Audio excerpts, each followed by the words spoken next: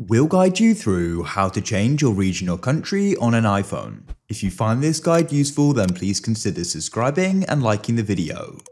This is really useful to go and do, as perhaps you've gone and moved region or country and see want that to be reflected on the iPhone. So to go and get started, there are different ways we can do this.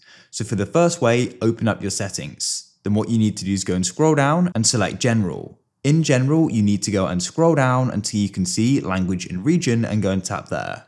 And you can then go and change the region in here. You can see mine is currently set to the United Kingdom.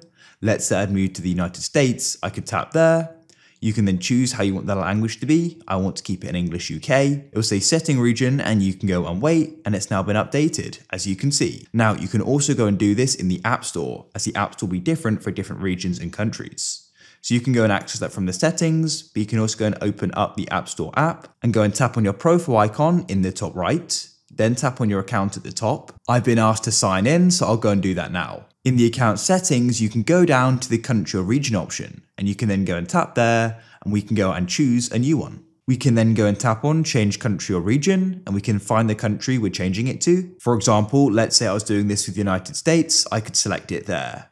What you then need to do is go and read and agree to the terms of conditions. After you've done that, you can press agree. And to go and verify this, you then need to go and add in a payment method, a billing name, and a billing address. And at the bottom, you'll see your new country or region. So you can complete this and then press next at the top, and that's it.